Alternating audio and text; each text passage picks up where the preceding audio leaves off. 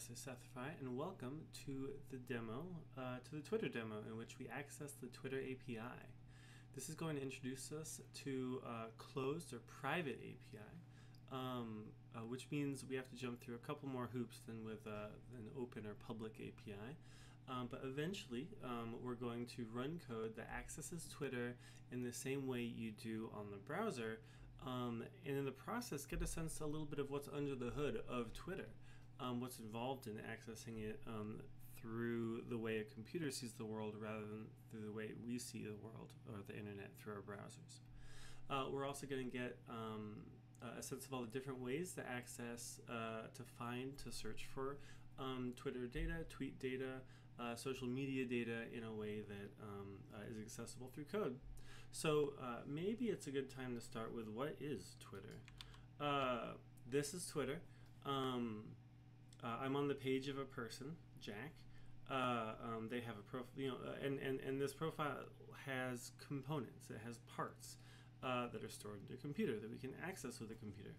Uh, a, a, screen name, a uh, handle, a profile picture, um, like a, a, date of, of joining, a, um, a bio, a number of followers. These are the people who are interested in what this person has to say um, a number of following. These are the, the people who um, this person thinks have something interesting to say.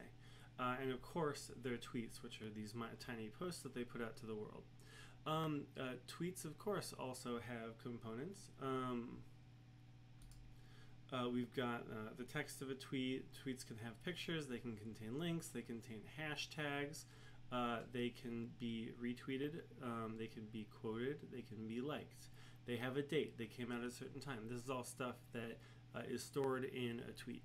Um, uh, these are all properties a tweet has, and these are things we can access. Now, we're accustomed to accessing them through our browser.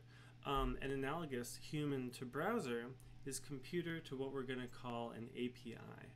Um, we're used to accessing uh, Twitter kind of visually, but it does have a computer side. Twitter speaks computer practically as well as it speaks human, and that's what an API is. An API is like a web browser for a computer. It's the way a computer accesses the underlying information that composes the website.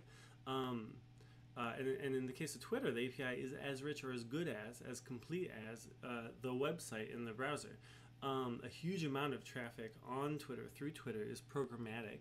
Um, so if you've ever been followed by a bot or wanted to create a bot or followed or, or, or followed a bot um, or worried about bots, um, uh, those are all things that are authored in precisely more or less the code that you're going to run today. Um, uh, you are going to be halfway to writing bots um, after the end of this lesson. Uh, now everything I'm showing you is for reading Twitter, for pulling from Twitter. I'm not going to show you, I'm not showing you in this demo any of the content that pushes to Twitter, pushes out tweets, for example, uh, which is the, the, the, the main half of what a bot does, right? Interacting with the world, not just observing the world. Um, but, you know, we're interested in, in data and accessing data. So uh, in this demo, we're focused on the reading or viewing side of Twitter. Um, in the process, we're going to experience a, a closed API. What does that mean?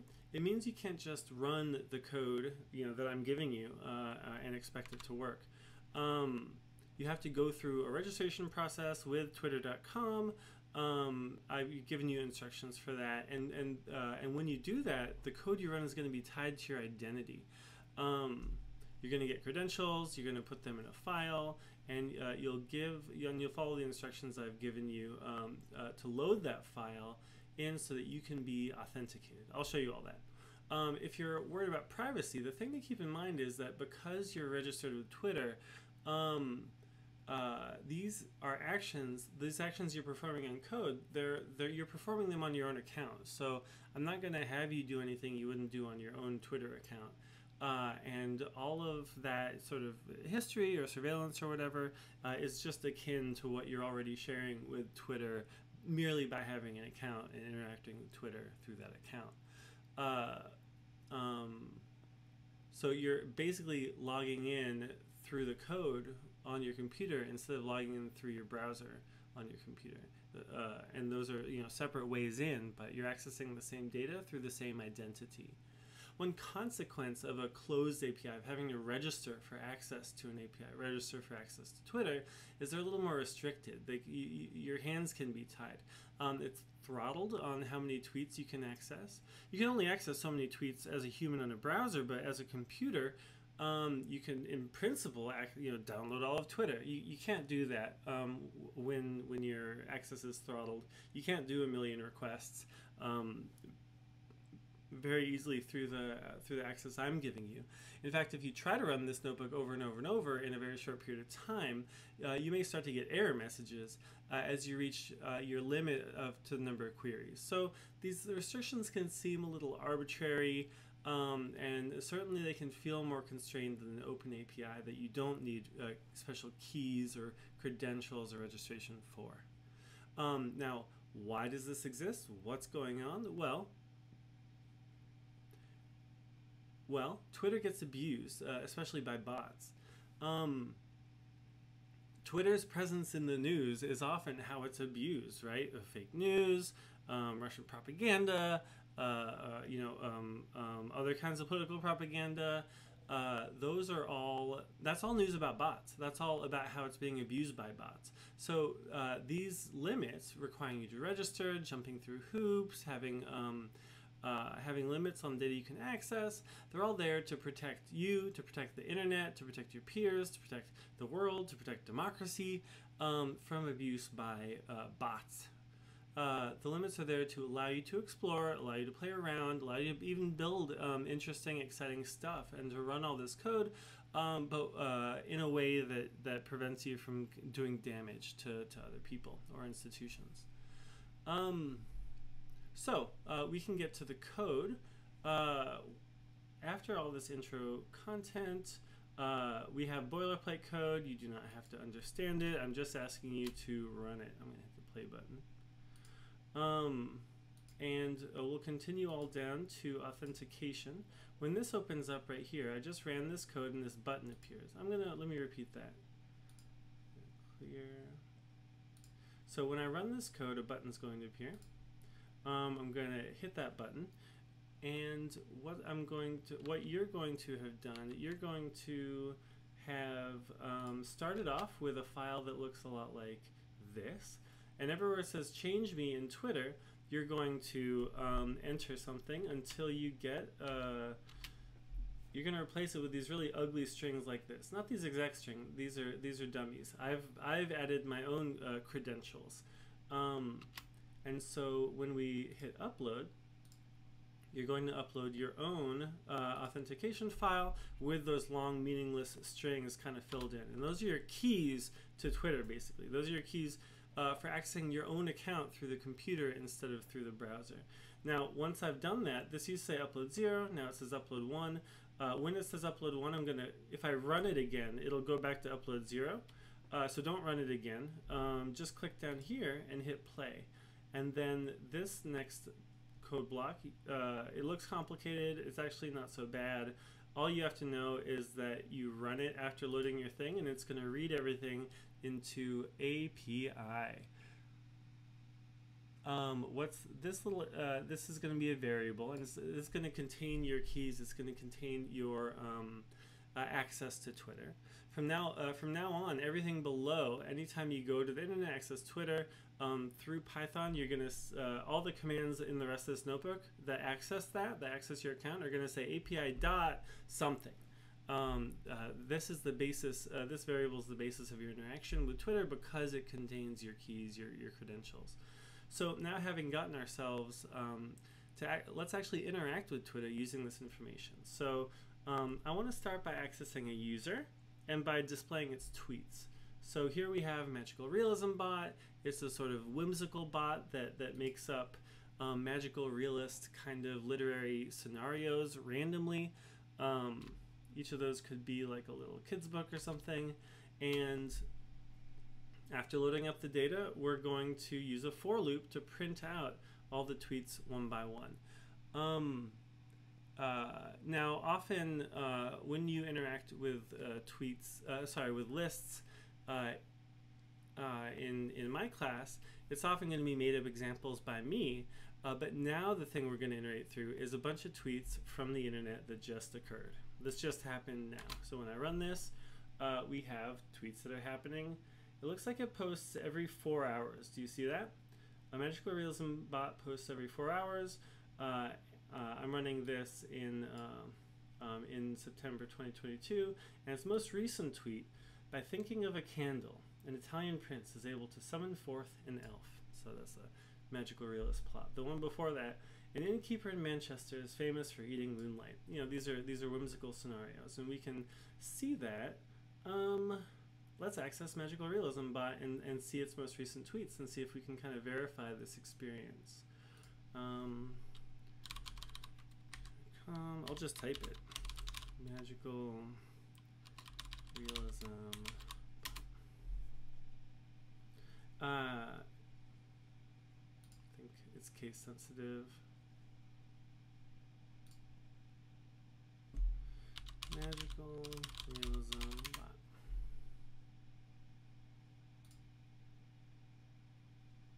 Awkward. It's right here somewhere. There we are. Magic Realism Bot. I did magical. Uh, and here we are. Uh, everything I said. Look, this is what we just pulled. By thinking of a candle, an Italian prince is able to summon forth an elf. An innkeeper in Manchester is famous for eating moonlight. So this is stuff happening on Twitter. We just accessed it through the computer. Everything you see in the code notebook, you can hop on the Twitter and verify that it just happened. Uh, so having done that, um, let me explain the code a little bit. For the most part, this is this is kind of ugly. Um, what do I want you to know? I want you to know the rocket ship means you know these lines went onto the internet because um, uh, in other lines that don't have rocket ships didn't go to the internet. They just use data that we pulled from the internet. Um, max results is kind of a suggestion. uh, this is a way of saying don't give me more than 100. It doesn't say give me 100. Don't ask me why, but they don't always want to give you all the ones you asked for. Um, there's some jargon here that I'm just giving you just to make this work. Uh, and you know, this is this is for an important reason. Um, uh, what I'm doing here, I'm giving you code that works. I'm showing you when, when and where to change it to make it work for you, to make it do interesting stuff for you. I'm not showing you, I'm not asking you to write this from scratch or figure out how to write it from scratch. I'm not asking you to write it for yourself. I'm not asking you to understand, you know, uh, why the you know why max results has an underscore why there's a thing called tweet fields why its input is in a list i'm not asking you to know any of that um, when the, the place I want you to understand what you're looking at is in the code lessons.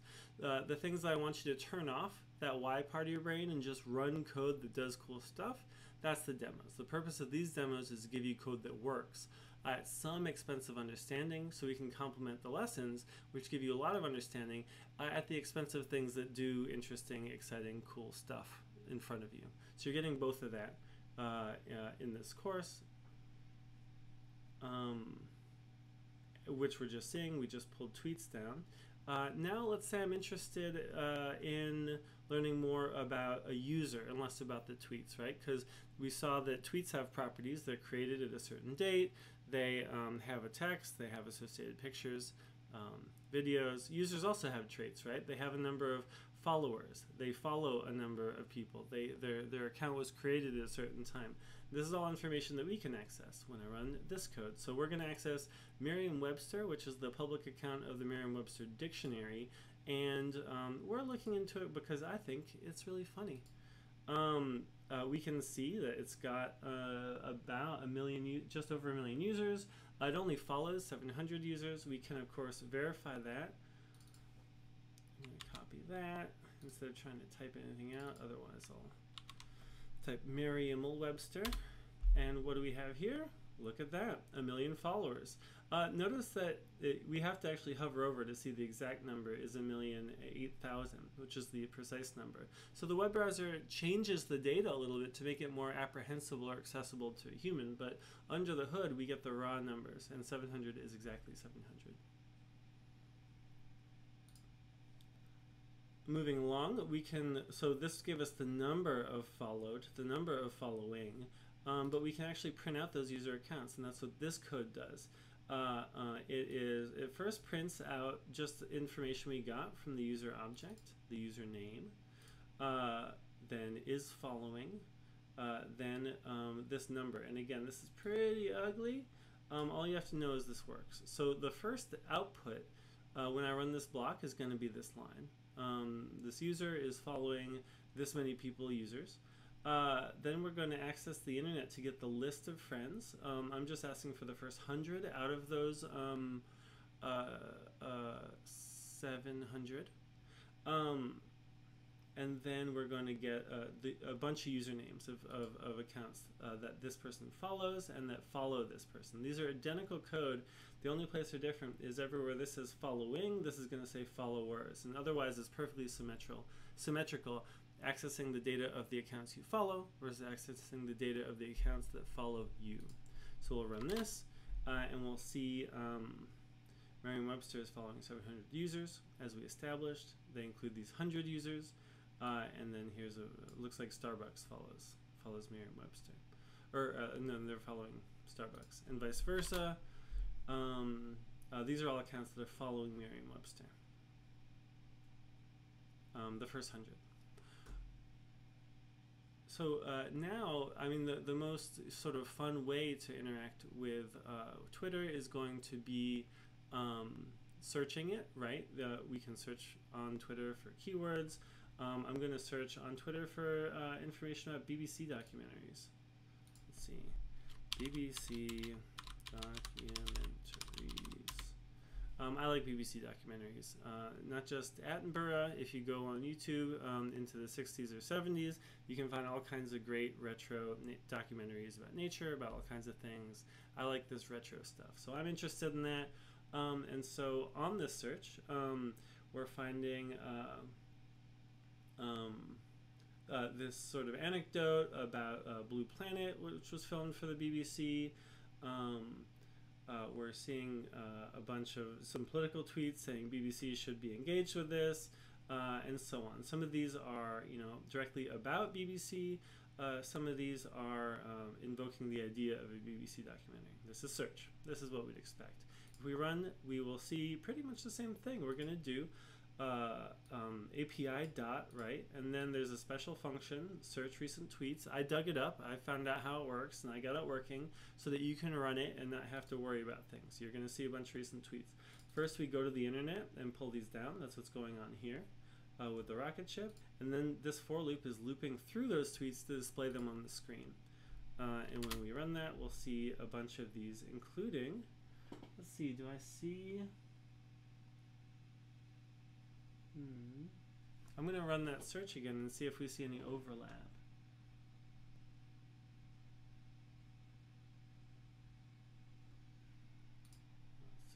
Let's search again and see if anything new pops up. Yeah, look, the um, uh, this is rotating fairly quickly. Are we getting the same results? No, we're not. Um, I don't know why. Uh, it could be that a lot of these are different kinds of tweets. We should be getting overlap. It, it would just kind of take kind of more careful looking to confirm that the thing we just plugged in on the API side is uh, you know mirroring or analogous to what we plug in uh, to what we find on the web browser side. Um, and of course, I put in uh, I put in a request for uh, the first 20 tweets. I could make that larger. You can actually um, get quite a bit of tweets uh, for each search. Uh, I think it's up to the first thousand these days. Uh, so a lot of data for you to pull down is you know do search for search for strings, search for you know do text analysis on or, or, or other methods that you start to learn as you become a more proficient programmer. And the, the thing to, to keep in mind is, you know, every time I run this, I'm going to get different tweets. Twitter is constantly happening.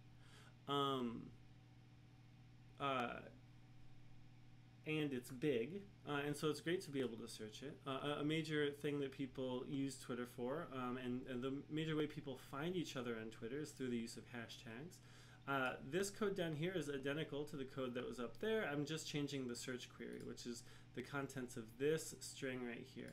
I want to look for hashtag dad jokes and all, and we'll see the same kind of thing. Um, what's a, a, frog's favorite meal? Burger and flies. Very, very funny. Yeah, and there's a lot of them. That can just keep going. Uh, so if you want a more efficient way of collecting bad jokes, Python's actually uh, great for that. Um, uh, we can uh, we can search hashtags. We can search at, which is sort of references to other users. Um, we can uh, retrieve tweets by activity, uh, even by language.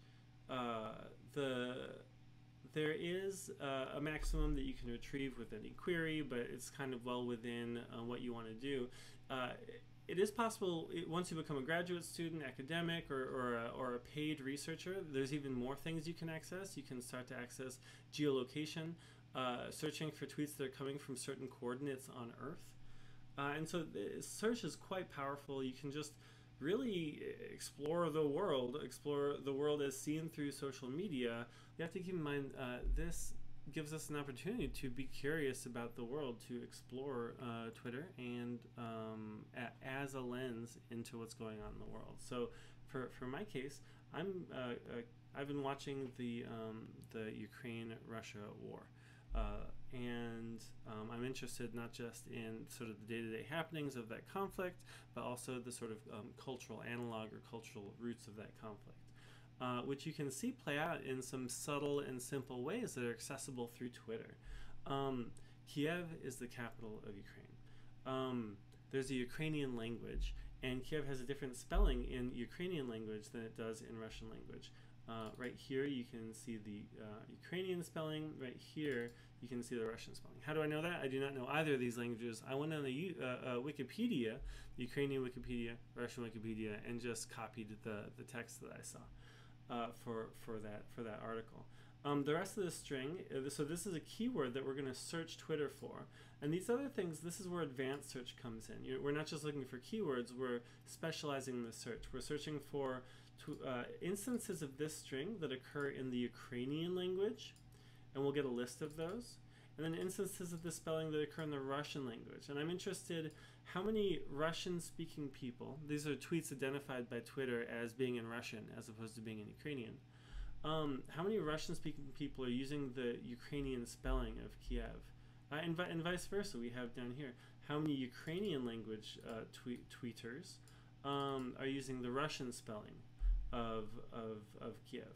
Uh, these are also keywords. What we're saying here is I don't want uh, tweets that are replies to anything.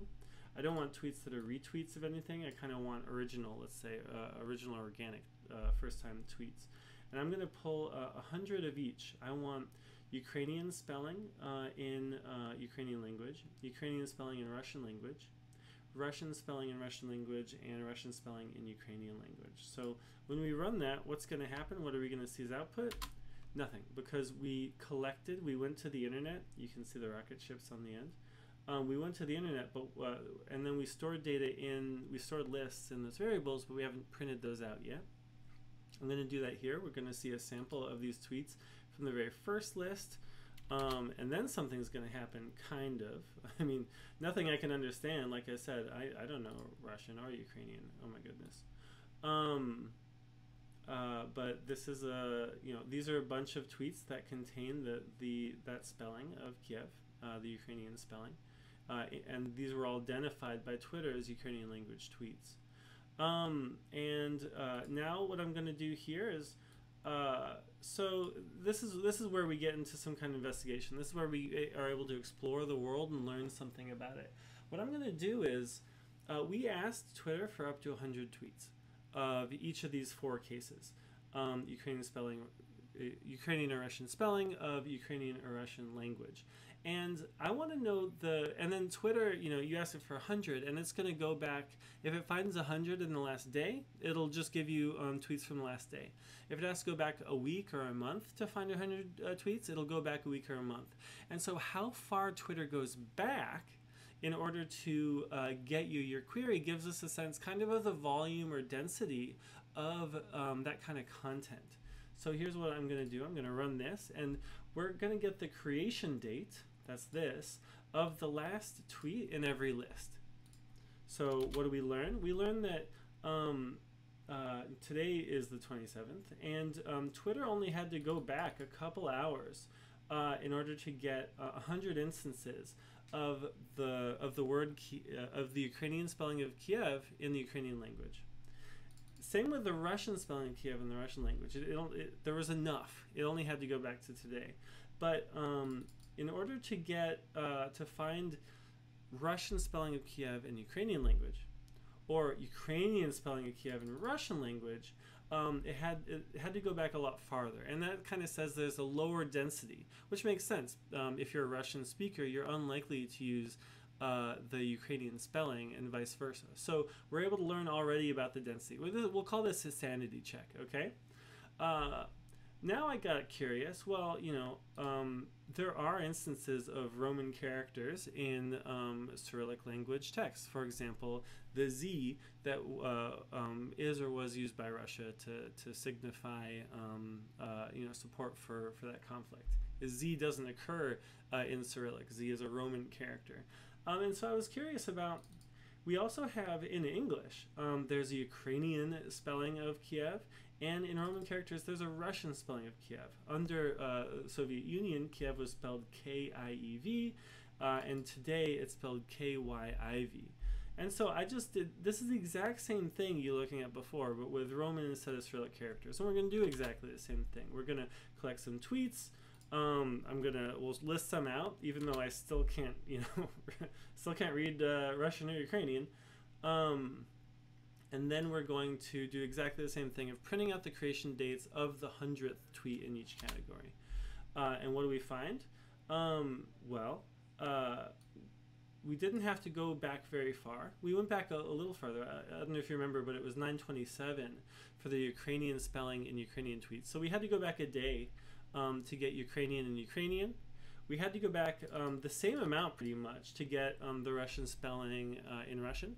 Um, just as before, we had to go back about a week um, in order to get the Russian spelling in the Ukrainian uh, uh, language. Uh, but this is something that popped out to me as kind of interesting.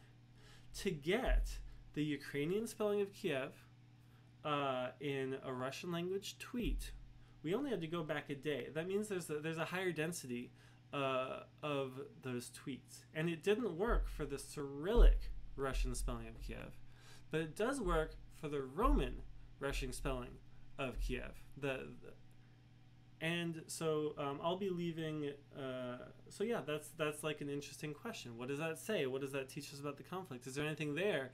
Um, uh, it keeps happening. This isn't just me running this now. I've, I've sort of been checking for a while to see if this is a pattern. And uh, yeah, maybe you have an idea of, of what to make of it. Uh, so uh, once again, like we're surveilling the earth uh, as viewed through social media, and we're able to ask questions about um, how people use language, what people's perceptions are. For culture loaded language, we're able to learn about culture and conflict just through word usage that we can search very superficially uh, using the immense power and volume of Twitter. Um, that doesn't mean we can understand you know everything that's going on, uh, but again, it is possible when you ask the right question, when you have the right curiosity, when you even have the right maybe domain knowledge, um, to gain insight into what's going on in the world through investigating, playing around with Twitter in code. Uh, put in keywords of your own, start looking around at what's going on in other places, and see if you can learn something about the world by playing with this code. Um, so uh, I'm going to conclude with one more kind of category of interaction with Twitter. In addition to pulling tweets down by user or by keyword, uh, you can. There's also sort of a couch mode of Twitter where you just run some code. You do not have to understand this code. This is quite ugly code. I'm just going to ask you to run it. Um, uh, and then um, we're going to stream Twitter live. Um, so uh, what I'm going to ask you to do, this says if false, so um, it's nothing's going to happen. Um, to make the, I, I kind of do that because this code will literally run forever if you let it. So uh, to run this code, you have to change that to true. Um, and then we're just going to run it. And what we're going to get is um, a printout of tweets as they happen. Um, and look, look. So we're already just getting a huge amount, and Twitter's just streaming like crazy. This is Twitter now. This is Twitter live as it's happening. Um, uh, and you can. Ju- I mean, I can. Only, I mean, this gives you a sense of how much of Twitter is not in English, right? Um, we're seeing a lot of languages just passing for us. This is this is really being plugged into the matrix. This is the raw data field in, in into this world. Um, the star means the code is running. I'm going to hit the stop button to make this stop. Um, I'm even going to change this true back to false. Uh, and then I'm going to go down here. Uh, now, it's a little less useful to have everything uh, all of Twitter. Maybe you want to narrow it down. So just as before, you can put keywords in. I'm going to search for uh, K-pop or J-pop. So I'll get twi tweets on either. Now, I'm a little behind on my international pop, so I'm not going to totally comprehend everything that uh, goes on here, but maybe you will. You can see it's happening uh, at a slower rate. Um, you can also see it's surprisingly uh, as this goes on like we are seeing different languages popping up so korean and japanese pop uh, have worldwide appeal i'm seeing spanish tweets um, it's really reaching and touching an international audience and we can gain access into this imagine for example i don't know um, taking a list of all the languages uh, that are identified by twitter tweeting the, the keywords for k-pop or j-pop um, uh, that would give you that would be a way of doing market research to see uh, what what language you know what, what language communities are most interested in uh, these genres of international pop. Um, and you could even, uh, as you get more and more access to the Twitter API, you can do historical searches. You could rerun this search in every year, going back to when Twitter was created, uh, to to understand the evolution of that international interest. These are things you can do in code that you just can't do through your browser. And that's kind of the point, right? Is that you gain a new insight into um, what social media can tell us about social systems and social science um, uh, when you can access social media through code. Um, so, uh, you've interacted with social media before. Uh, you've always done it through a browser, uh, but when you've done it in your browser, um, uh, you've been secretly interacting with the sort of backend. And uh, by using code, we can access that backend directly and at volumes that are kind of unprecedented. And we can gain a deeper insight uh, into the, the side of Twitter um, that your computer sees. We only did the read side. We only read from Twitter, right? We, we got data from Twitter. We didn't push or write to Twitter. We didn't post any tweets or create any accounts through through uh, through kind of bot action, but that's like a whole thing that can be done. Uh, the advantages of, of doing all of this in code, besides just demonstrating how magical code is, how, how it's this parallel uh, um, view into Twitter, and how versatile is, you can ask questions, you can collect data, you can surveil the social media world and interact with it um, uh, in a more systematic way. Uh, then you interact uh, in a casual way uh, with social media every day. So I hope this is eye opening and mind expanding. Um, I hope you play around with it, throw in some other usernames or keywords, and just uh, explore and play around. Um, I hope you find this uh, enlightening and enjoyable, uh, a new view uh, that code offers into the sort of mundane everyday experience. Um, and with that, thank you very much.